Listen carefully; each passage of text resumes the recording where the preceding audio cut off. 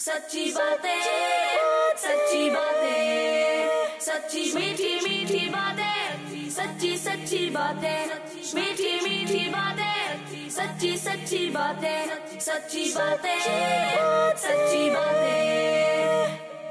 अल्हम्दुलिल्लाहि रब्बिल आलमीन, वस्सलातु वस्सलामु अला सय्यिदिल अंबिया वल मुरसलीन। अम्मा बाद फ़अऊज़ु बिल्लाहि मिनश शैतानिर रजीम बिस्मिल्लाहिर रहमानिर रहीम अस्सलातु वस्सलामु अलैका या रसूल अल्लाह अस्सलातु वस्सलामु अलैका या हबीब अल्लाह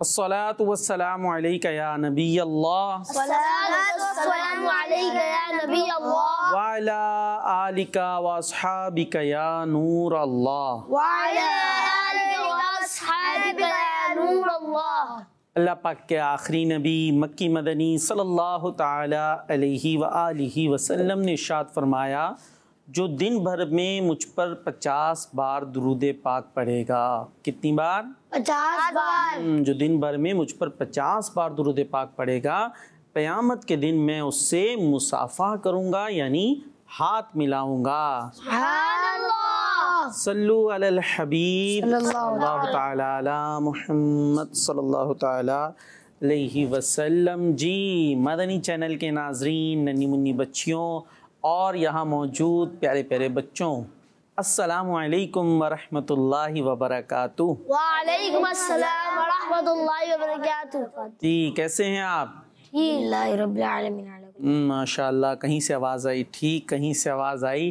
अल्हम्दुलिल्लाहि रब्बिल आलमीन अला हाल। हाल जी। मतलब क्या है इसका? इसका मतलब है हर हाल में अल्लाह पाक का शुक्र है। तो जो ठीक है अल्लाह पाक उन्हें ठीक ही रखे। और जो ये कह रहे हैं कि हर हाल में अल्लाह पाक का शुक्र है ये भी बड़ी अच्छी बात है कि भाई हर हाल में अल्लाह पाक का शुक्र अदा करना चाहिए। किसी वक्त ज़्यादा ठीक नहीं भी होते ना थोड़ी थोड़ी बीमारी भी हो रही होती है कभी कुछ होता है, है? तो उस टाइम क्या बोलेंगे? उस टाइम बोलेंगे ठीक नहीं है। तो इसलिए बड़ा अच्छा ये जुमला है कि अल्हम्दुलिल्लाह रब्बिल आलमीन अला हाल। हर हाल में अल्लाह पाक का शुक्र है नज़ला है ज़ुकाम है किसी बात पे कोई नाराज़गी है कभी डांट भी पड़ जाती है तब भी अल्लाह पाक का शुक्र है कि इस पे कोई ना कोई हमारे लिए बेहतरी होगी। ठीक है जी? तो इसी प्यारी सी बात के साथ हमारा प्यारा सा प्रोग्राम शुरू हो चुका है सच्ची बातें। तो ये प्यारा सा प्रोग्राम आ गया है। अब प्यारे बच्चों आपने कहीं जाना नहीं है। आपने हमारे साथ रहना है। देखें यहाँ हमारे साथ कौन कौन मौजूद हैं। चले उनसे भी कुछ बातें करते भाई कौन है हमारे साथ? मोहम्मद सफियान कादरी। मोहम्मद सुफियान कादरी माशाल्लाह क्या बात है। क्या नाम है आपका? सैयद हारिस रजा। सैयद हारिस रज़ा माशाल्लाह सैयद साहब हमारे साथ मौजूद हैं। चले भाई आगे चलते हैं। वो उधर मेरे जो है क्या नाम है आपका? मोहम्मद हसान रेहान। मोहम्मद हसान रेहान। जी भाई हमारे साथ मौजूद हैं हमारे जुनेद भाई। इनका तो हम खुद तारुफ करा देते हैं मदरी चैनल पर आप देखते रहते हैं। और जुनेद भाई क्या करेंगे बड़े होके? आलिम बनेंगे, माशाल्लाह, कोई आलिम दीन बनेगा, कोई किसी और प्रोफेशन को इख्तियार करेगा। लेकिन जो भी हम काम करें, वो जो है ना, अच्छे अंदाज से, शरीयत के दायरे में रहकर करें और तो इन उसमें भी सवाब मिलेगा, अच्छी अच्छी नीयतों के साथ और दुरुस्त तरीके के मुताबिक हम जो भी काम करेंगे, जो भी प्रोफेशन इख्तियार करेंगे तो इन उसमें भी नेकियाँ हमें मिलेंगी। नीयत अच्छी होगी, काम अच्छे अंदाज से, शरीयत के मुताबिक होगा इन हर जगह जो है वो हम अच्छे अंदाज से काम करेंगे नेकी भी मिलेगी। तो इसीलिए अभी से बच्चों की तरबियत हो उन्हें अच्छी बातें बताई जाएँ उनके अच्छे अंदाज से जहन साजी की जाए उसके लिए ये मदनी चैनल आपके लिए प्यारे प्यारे प्रोग्राम चलाता है और उन्हीं प्रोग्राम में से एक प्रोग्राम है सच्ची बातें। और इसमें प्यारे प्यारे सेगमेंट शुरू होने वाले हैं। अब आपने कहीं जाना नहीं है। सबसे पहला हमारा सेगमेंट होता है प्यारे नबी के। हम्म आइए उसकी तरफ़ चलते हैं। सच्ची बातें सच्ची बातें। जी तो हमारा सेगमेंट शुरू हो चुका है प्यारे नबी के। प्यारे नाम हमारे प्यारे नबी सल्लल्लाहु ताला अलैहि वसल्लम के बहुत ही प्यारे प्यारे नाम हैं। ठीक है हमारे तो एक दो नाम होते हैं ना जैसे आपने अपने अभी अभी एक एक नाम बताया। हमारे प्यारे नबी सल्लल्लाहु ताला अलैहि वसल्लम के जो नाम है ना वो बहुत सारे हैं। और वो बहुत सारे नाम क्यों हैं?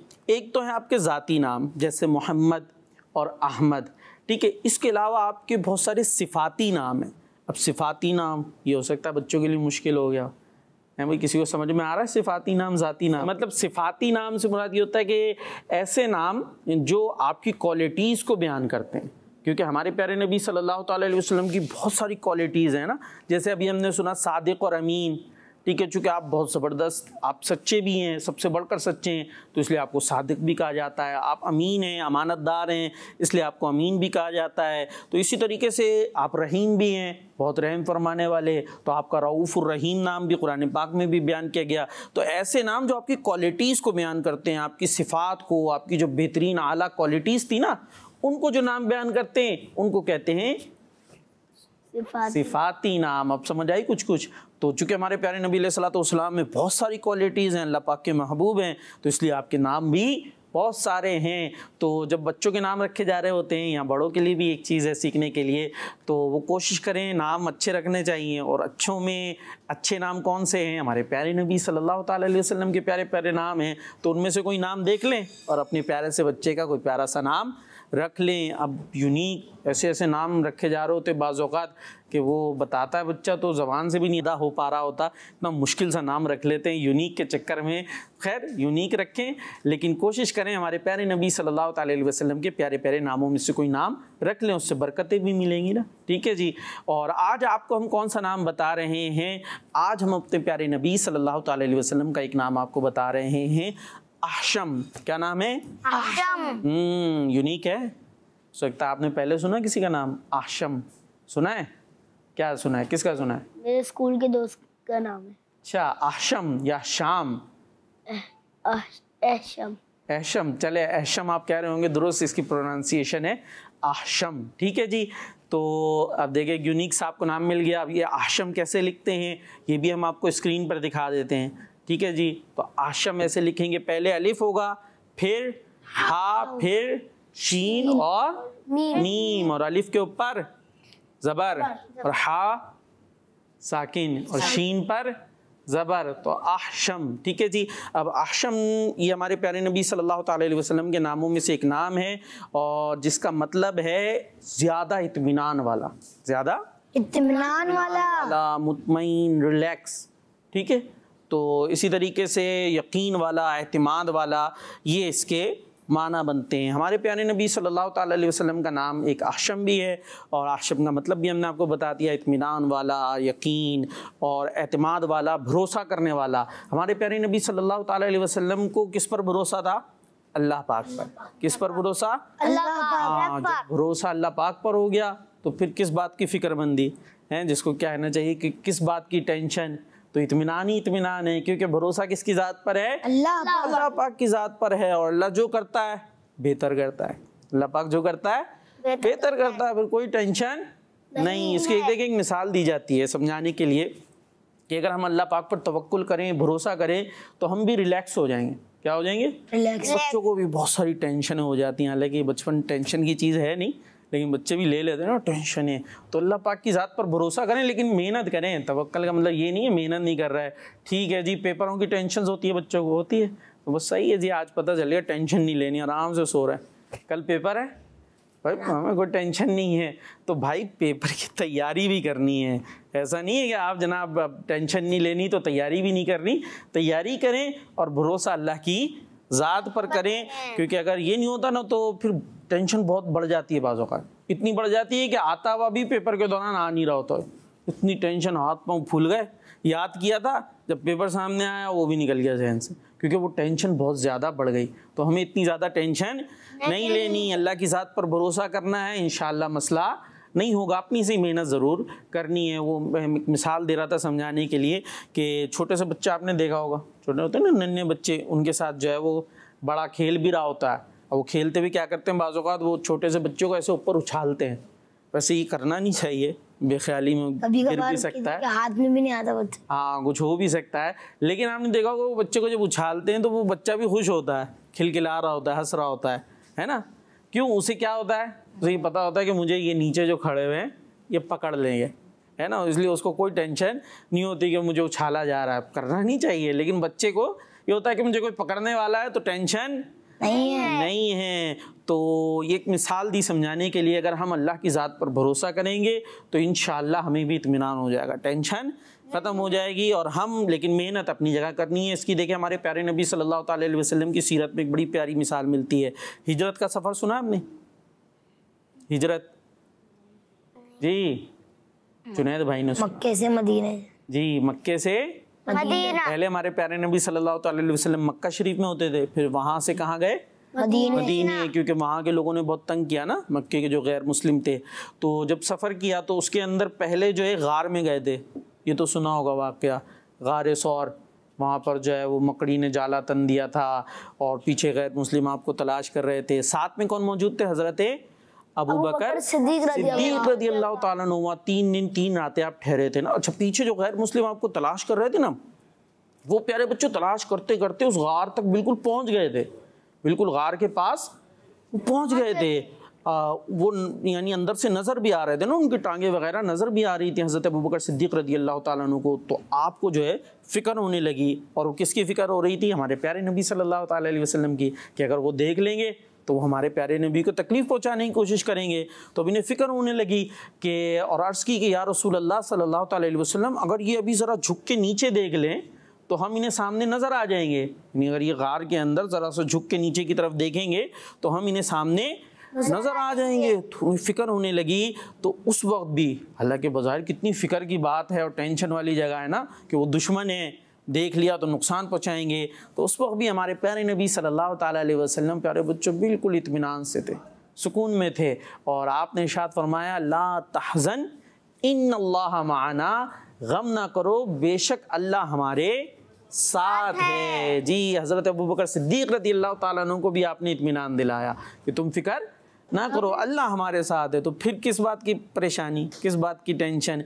लिहाजा आप बिल्कुल इत्मीनान से थे। तो अल्लाह की ज़ात पर भरोसा करेंगे तवक्कुल करेंगे तो इन हमें भी इत्मीनान मिल जाएगा। जी तो ये प्यारी सी बात हमने सीखी प्यारे नबी सल्लल्लाहु अलैहि वसल्लम की सीरत से। तो और नाम क्या सुना हमने? अहशम। हम्म, अहशम। अहशम नहीं? अहशम। हाँ अहशम। ठीक है जी। तो अहशम का मतलब इत्मीनान वाला। और इसी के साथ अब चलें आगे? कहाँ चलें? घर? दूसरे दूसरे सेगमेंट की तरफ़ और दूसरा सेगमेंट कौन सा? ऐसे हैं हमारे यार प्यारे नबी। सच्ची बातें सच्ची बातें। जी तो प्यारे प्यारे बच्चों हमारा दूसरा सेगमेंट शुरू हो चुका है। ऐसे हैं हमारे प्यारे नबी। कैसे हैं हमारे प्यारे नबी? बहुत ही ज़बरदस्त हैं बहुत ही प्यारे हैं। आपकी हर हर चीज़ बड़ी ख़ास है और आज हम सुनने वाले हैं अपने प्यारे नबी सल्लल्लाहु अलैहि वसल्लम के कद मुबारक के बारे में। किसके बारे में? कदम मुबारक के बारे में। किसके बारे में? कदम मुबारक। कद मुबारक के बारे में। कद क्या होता है? लंबा। हम्म, कद यानी टॉल होना। हाइट कह लीजिए ठीक है जी? अब कद मुबारक के बारे में सुनेंगे कि हमारे प्यारे नबी सल्लल्लाहु अलैहि वसल्लम का कद कैसा था। अब हो सकता है किसी के जहन में आ रहा हो भाई कद में क्या ख़ास बात है? में और चीज़ें होती हैं भाई खूबसूरत होना आँखों का प्यारा होना बहुत खूबसूरत जो है लिप्स वगैरह का होना ये तो होता है लेकिन कद में क्या खासियत हमारे प्यारे नबी सल्लल्लाहु अलैहि वसल्लम की हर चीज़ बड़ी ज़बरदस्त थी। आपका जो कद की खासियत है ना वो ये थी कि आपका दरमियाना कद था। कैसा कद था? दरमियाना समझते हैं? मीडियम। ना बहुत टॉल ना बहुत स्मॉल बल्कि मीडियम आपका कद था और उसके साथ खासियत ये थी कि अगर आपके साथ कोई टॉल भी चल रहा हो ना, बड़े कद वाला भी तो फिर भी हमारे प्यारे नबी सल्लल्लाहु अलैहि वसल्लम उससे टॉल नज़र आते थे। यानी ऐसा नहीं होता था कि वो बड़ा नज़र आ रहा है, क्योंकि हमारे प्यारे नबी के बराबर कोई नहीं है। आपका असल कद मुबारक कैसा है? दरमियाना, मीडियम। अब आपके साथ अगर दो शख्स भी चल रहे हैं जो लंबे कद वाले हैं, लेकिन जो देखने वाला होगा ना, उसको कौन बड़ा नज़र आएगा? हमारे प्यारे नबी हाँ हमारे प्यारे नबी सल्लल्लाहु अलैहि वसल्लम कैसा ज़बरदस्त कद मुबारक है ना इसी तरीके से अगर बैठे हुए हैं आप सल्लल्लाहु अलैहि वसल्लम और कई आपके साथ अफराद बैठे हुए हैं और उसमें ऊँचे कद वाले भी हैं लंबे कद वाले भी हैं लेकिन उन सब में जिसका सर सबसे नुमाया और वाजे और बड़ा नज़र आएगा यानी सबसे ऊँचे जो नज़र आएँगे वो हमारे प्यारे नबी सल्लल्लाहु अलैहि वसल्लम। होंगे क्योंकि आपके बराबर कोई नहीं। जैसे हैं मेरे सरकार ऐसा नहीं। कोई नहीं कोई जी तो ये स्पेशलिटी थी हमारे प्यारे नबी सल्लल्लाहु अलैहि वसल्लम की कि आप किसी भी शख्स के साथ आप चलते तो आपका कद दरमियाना था लेकिन आप उनसे बुलंद नज़र आया करते थे। इसी तरीके से जब आप किसी महफिल में तशरीफ़ फरमा होते तो आप सल्लल्लाहु अलैहि वसल्लम के मुबारक कंधे सबसे बुलंद नज़र आते हैं यानी सबसे आप नुमाया नज़र आया करते थे। यहाँ तक कि हज़रत आयशा सिद्दीक़ा फरमाती हैं कि अल्लाह के हबीब ना तो बहुत लंबे थे और ना बहुत छोटे कद वाले थे। जब अकेले चलते तो दरमियानी कद वाले नज़र आते जब अकेले चलते तो क्या होता? हाँ दरमियानी कद के नज़र आते अगर आपके साथ कोई लंबे कद वाला शख्स चलता तो आप सल्लल्लाहु अलैहि वसल्लम उससे बुलंद नज़र आते उससे बुलंद बुलंद नज़र आते जी तो ये खासियत है हमारे प्यारे नबी सल्लल्लाहु अलैहि वसल्लम के मुबारक कद की। जी तो ये था सेगमेंट ऐसे हमारे प्यारे नबी। और अब एक और सेगमेंट है। वो कौन सा है? तीसरा। आइए उसकी तरफ़ चलते हैं। सच्ची बातें सच्ची बातें। इसमें हम सुनते हैं हदीस पाक और हदीस पाक को कुछ कुछ समझने की भी कोशिश करते हैं। जी, और आज जो हदीस पाक हम सुन रहे हैं, आइए वो हदीस पाक हमको सुनाते हैं। बुखारी शरीफ की हदीस है, काला ताला अलैहि वसल्लम इदा अता अहदुकुमुल गाइता फला यस्तकबिल क़िबलता, वला युवल्लिहा ज़हरा। इसका तर्जुमा, जब तुम में से कोई बैतुल खला में आए, कहाँ आए? बैतुल खला। हाँ बैतुल खला में आए। अब ये मैं पूछूँगा बैतुल खला किसे कहते हैं? ठीक है जी बैतुल खला में आए तो किबले को ना मुँह करे और ना पीठ करे। यानी ना किबले की तरफ़ मुँह करे ना पीठ करे। ना मुँह करे ना फेस करे ना बैक। ठीक है जी कहाँ जाए जब? बैतुल खला। बैतुल खला। बैतुल खला मीन्स वॉशरूम। जी जब कोई वॉशरूम जाए तो क्या नहीं करना? ना किबले की तरफ़ मुँह। करना है ना पीठ करनी है। किबला क्या है भाई? किबला किसे कहते हैं? रेहान नाम है ना आपका? नहीं हसान है हसान रेहान। किबला किसे कहते हैं? सोच रहे हैं। जुनैद भाई तैयार हैं बताने के लिए। और कौन बताएगा? जिस जिसे मक्के की तरफ़ मुँह करके। जी? मक्के की तरफ़ मक्के की तरफ़ मुँह करते हैं। काबे की तरफ़ मुँह करके। तो किबला क्या है? किबला बताएँ। किबला किसे कहते हैं? तरफ़ मुँह करके नमाज़ पढ़े अरे अरे एक मिनट रुक जाएँ। वो बता रहे हैं कुछ। काबे काबा काबा हाँ। होता है उसके सीधे हाथ की तरफ़। किबला होता है। अच्छा काबे के सीधे हाथ पे किबला है। चले भाई ये कह रहे हैं काबा है काबे के सीधे हाथ पे किबला है। और आप क्या फरमा रहे हैं? मक्का। मक्का शरीफ किबला है। अच्छा जी और आप क्या कह रहे हैं? का, काबे काबा शरीफ किबला है काबा शरीफ ही किबला है। चले भाई ये कह रहे हैं काबा शरीफ ही किबला है। वो कह रहे हैं काबे के सीधे हाथ पे किबला है। और आप कह रहे हैं मक्का किबला है। अच्छा जी मक्का शरीफ किबला और जुनेद भाई जिस ये करार तरफ़ हैं। मुँह करके जी। खड़े होके नमाज़ पढ़ते हैं वो जो ठीक है वो किबला हुआ करता। है और किस तरफ़ मुँह करके नमाज़ पढ़ते हैं? किबले की तरफ़। किबला क्या है? चले भाई जुनेद भाई भी बहुत हद तक पहुँच गए कुछ शायद बयान करने में मसला हो रहा है। भाई काबे के सीधा पे किबला नहीं है बल्कि काबे को ही किबला कहते हैं। ठीक है जो काबा मौजमा है ना जो मक्का शरीफ के अंदर है मक्का शरीफ तो शहर है। जैसे मदीना एक शहर है ऐसे ही का मक्का एक शहर है मक्के के अंदर मस्जिद हराम है और उसके बीच में मौजूद है काबा शरीफ जिसको किबला भी कहा जाता है। किबला भी कहते हैं और काबा शरीफ भी कहते हैं। तो जब हम वॉशरूम जाएँ बैतुल खला जाए तो ना हमने उसकी तरफ़ बैक करनी है ना फेस करना है। ठीक है जो वॉशरूम में जाते हैं ना तो इसलिए हम इस तरह से नहीं करेंगे क्योंकि हमने क्या करना है काबे का अदब करना है। काबे का क्या है ये? अदब करना है। उसकी तरफ़ तो हम रुक करके नमाज़ पढ़ते हैं ना। तो उसकी तो ये अदब के ख़िलाफ़ है कि हम जो वॉशरूम वगैरह जाएँ और जो मामला होते हैं उसमें हमारा फेस या जो है वो पीठ जो है वो काबे की तरफ़ हो तो ये उसके अदब के खिलाफ है। तो हमें ऐसा नहीं करना। इसी तरीके से जब हम थूकते हैं तो थूकते हुए भी इस बात का ख्याल रखना चाहिए। वो तो हम बाहर होते हैं कहीं भी होते हैं तो वह ऐसे ही थूक देते हैं। तो उसमें देखना चाहिए ऐसा तो नहीं हम काबे शरीफ की तरफ़ मुँह करके थूक रहे हो। तो ये अच्छी बात नहीं है। हैं। जी। तो प्यारे बच्चों जब भी हम वॉशरूम जाएँ तो किस बात का ख्याल रखना है कि ना हमारा चेहरा जो है वो किबले की तरफ़ होना पीठ किबले की तरफ़ हो क्योंकि वॉशरूम में मुँह या पीठ किबले की तरफ़ करके बैठना गुना है। यानी वॉशरूम के लिए जब बैठते हैं तो किबले की तरफ़ मुँह या पीठ कर कर बैठना क्या है? गुना है। तो इस बात का हमें ख्याल रखना है क्योंकि हमने काबे की क्या करना ही? है ताज़ीम करनी है। ये रिस्पेक्ट के ख़िलाफ़ होगा। इसी तरीके से अगर थूकना हो तो थूकने में भी हमने किबले की सिमत का ख्याल रखना है कि उस तरफ़ हमने ऐसा नहीं नहीं करना। होता। और एक चीज़ है हम्म एक बात जहन में आ गई कि जो बाज़ात बड़े या बच्चे ख्याल नहीं रखते और किबले की तरफ़ कर लेते हैं जबकि वो काम भी नहीं करना चाहिए। और कौन सा काम है? जी वॉशरूम के लिए एक हमने बता दिया थूकने का बता दिया। जी हसान रेहान और हमारे क्या नाम था आपका? मोहम्मद सफियान कादरी। सुफियान कादरी क्या चीज़ है जो हमें किबले की तरफ़ नहीं करनी चाहिए? और क्या चीज़ है जो किबले की तरफ़ चले करनी चाहिए? ये भी सवाल हो गया। नमाज़। नमाज़ नमाज़ तो। किबले की तरफ़ मुँह करके पढ़नी चाहिए ठीक है कुरान। कुरान पढ़ना चाहिए। अच्छा जी ठीक है और? और नहीं करने का बताया ना? जी क्या नहीं करना चाहिए किबले की तरफ़? जो हो जाता है बाज़त बेख्याली में। आ, क्या ख्याल आया? जी जुनैद भाई। पाँव नहीं करने चाहिए पाँव नहीं करने चाहिए। जी आप क्या कह रहे हैं? कहो नहीं करने चाहिए। पाँव नहीं करने चाहिए और? कमर भी नहीं करनी चाहिए। क्या नहीं करनी चाहिए? कमर कमर। कमर नहीं करनी चाहिए? करनी करनी चाहिए। पीठ? जी पीठ। देख ले भाई। पाँव करके पाँव जी। पाँव किबले की तरफ़ करके सोना भी नहीं चाहिए। अच्छा पाँव किबले की तरफ़ करके सोना भी नहीं चाहिए। जी जो बात मैं पूछना चाह रहा था वो यही थी कि क्या चीज़ नहीं करनी चाहिए किबले की तरफ़? पाँव किबले की तरफ़ नहीं करना चाहिए। बाजू का लेटे हुए होते हैं तो ऐसे टेढ़े टेढ़े लेट जाते हैं ना कहीं सर नीचे जा रहा है उधर जा रहे टांगे से ऊपर करके लेट गए तो वो बाजू का किबले की तरफ़ हो रही होती हैं काबे की तरफ़ पाँव हो रहे होते हैं तो इसका हमें ध्यान रखना चाहिए कि काबे की तरफ़ हमारे पाँव भी नहीं हो और किबले की तरफ़ मुँह करके बैठना भी अच्छी बात है। ठीक है जी किबले की तरफ़ मुँह कर कर बैठना अच्छी बात है। पीठ होने से जितना आप बच सकते हैं अच्छी बात है बचें।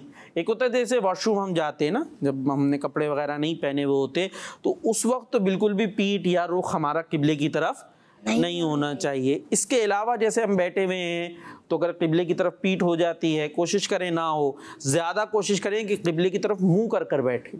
इससे जो है बहुत फ़ायदा होता है। हा- जो है ना हाफजा भी तेज़ होता है। हम याद कर रहे हैं कोई चीज़ तो क्या करें कोशिश करें किबले की तरफ़ मुँह कर कर बैठ जाएँ। और याद करें तो इनशाला जल्दी याद हो जाएगा अच्छी अच्छी नीयतें कर कर बैठेंगे तो इनशाला सवाब भी मिलेगा। तो किबले की तरफ़ कोशिश करना चाहिए ज़्यादातर हमारा मुँह हो उसकी तरफ़ पीट करने से भी बचें और जो है पाँव करने से तो बहुत ज़्यादा बचना है। ठीक है जी इसी तरह थूकना नहीं चाहिए उस तरफ़ मुँह कर कर। तो ये कुछ अच्छी अच्छी बातें हमने सुन ली कुछ याद भी नहीं भूल गए? क्योंकि अब तो काफ़ी देर हो गई ना शुरू से चले थे कहाँ तक आ गए? नाम क्या था आपका? सैयद हारिस सैयद हारिस के हम नाम तो भूल गए आपका। शुरू में पूछा था ना। लेकिन आप बातें भी भूल गए हमारी या याद हैं। चले हमारे प्यारे नबी सल्लल्लाहु अलैहि वसल्लम का नाम क्या सुना था हमने? वो बता आशम क्या नाम था? आशम जी आशम नाम सुना था और आशम नाम का मतलब क्या था? जी। हम्म मतलब आप भूल गए। जुनैद भाई बता रहे हैं। जुनैद भाई से पूछ लें। जी। ज़्यादा भरोसे वाला। जी इतमान वाला ज़्यादा इत्मीनान वाला, यानी भरोसे वाला, एतमाद वाला चले जी। और ये यूनिक सा नाम भी पता चल गया ना हमें बच्चों के रखने के लिए। लगता मदनी चैनल और के प्रोग्राम सच्ची बातों के ज़रिए कोई सुन रहा हो और वो अपने बच्चे का नाम रख भी ले। तो आप बता भी सकते हैं जो हमारे प्रोग्राम्स आते हैं लाइव उसके अंदर कॉल करके भी बता सकते हैं ये बात। ठीक है जी, और क्या सुना था भाई? हदीस पाक क्या सुनी थी हमने? वो तो अभी सुनिए। याद है? भूल गए। चले मफूमन सुना दें थोड़ा थोड़ा बाकी हम बताते जाएँगे साथ साथ तुम में से कोई बैतुल खला आए तो किबले की तरफ़? तरफ़। मुँह नहीं करना चाहिए। मुँह ना करे ना। पीठ कर। करे। जी ये हदीस पाक हमने सुनी और प्यारे नबी सल्लल्लाहु अलैहि वसल्लम की खासियत क्या सुनी थी? ऐसे हमारे प्यारे नबी सेगमेंट में क्या आपका कद कैसा था? लंबा। लंबा। हम्म, दरमियाना। कैसा था? मीडियम। लेकिन कोई लंबे कद वाला भी हो तो उससे ज़्यादा नुमाया हमारे प्यारे नबी सल्लल्लाहु अलैहि वसल्लम। नज़र आया करते थे। जी तो ये प्यारी प्यारी बातें हमने सुनी है अपने प्यारे से प्रोग्राम में जिसका नाम है सच्ची बात। जी सच्ची बातें। इंशाल्लाह नेक्स्ट एपिसोड के साथ फिर हाजिर होंगे। जब तक आपने हमें दुआओं में याद रखना है और देखते रहना है मदनी चैनल सल्लू अल हबीब। सच्ची बातें सच्ची बातें सच्ची मीठी मीठी बातें सच्ची सच्ची बातें मीठी मीठी बातें सच्ची सच्ची बातें सच्ची बातें सच्ची बातें। बच्चों का मदनी चैनल आ गया बच्चों का आ गया आ गया।